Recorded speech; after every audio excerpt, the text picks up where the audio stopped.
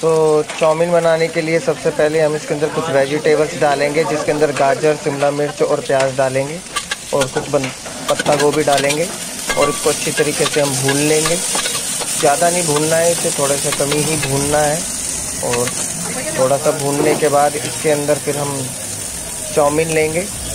लगभग हम ये एक प्लेट चाउमीन बनाने जा रहे हैं। एक हम लगभग साढ़े छः सौ एम का कंटेनर है, जिसे हम चाउमीन से भरेंगे। ये उसकी क्वांटिटी है। तो हमने एक प्लेट चाउमीन डाल दी है और अब इसे थोड़ा सा अब हम कढ़ाई के अंदर कच्ची को चलाएँगे, जिससे थोड़ा चाउमीन अलग अलग हो जाए। जिस तरीके से मैं ये कर रहा हूँ। ये देखिए, सारी वेजिटेबल्स पूरी तरीके से मिक्स हो जानी चाहिए। अच्छी तरीके से अब हम इसमें अजीनो मोटो डाला है। अब हम इसमें नमक डालेंगे। ये नमक डाल रहा हूँ मैं।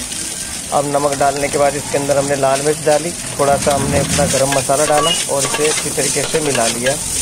ये हम इसको अच्छी तरीके से पूरा मिक्स करेंगे। जब तक मसाला पूरा मिक्स ना हो जाए और चाउमीन को थोड़ा सेक लेंगे पहले से ही। अब इस पर सिरका डालेंगे। अब ये हमने सोया सॉस डाला। और अगर हम अब कलर चाहते हैं तो इसमें कलर भी डाल सकते हैं। और इसके अंदर कच्ची चला कर इसको अच्छी तरीके से पका लेंगे चाउमीन को। चाउमीन को थोड़ा सा सेक लेंगे अच्छी तरीके से। चाउमीन को पूरी अलग अलग रखें और अच्छी तरह सेक ले। फ्लेम को पूरी हाई पे रखें। ज़्यादा भी नहीं कि चाउमीन चिपक जाए। और हम इसे पूरी तरीके से सेकेंगे। इस तरीके से, जिस तरीके से मैं सेक रहे हैं, और साथ साथ हिलाते रहेंगे कच्ची के साथ इसे। ये देखिए, चाउमीन का रंग और सुनहरा आ रहा है और उसकी महक भी काफ़ी बढ़िया आ रही है। अब हम इसे अच्छी तरीके से और चलाएँगे।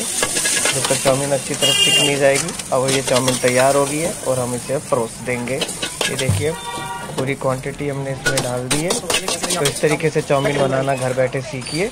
और, और मेरे चैनल अगर अगर ये वीडियो अच्छा लगा है तो इसे लाइक करिए शेयर करिए और कमेंट्स करिए। Thank you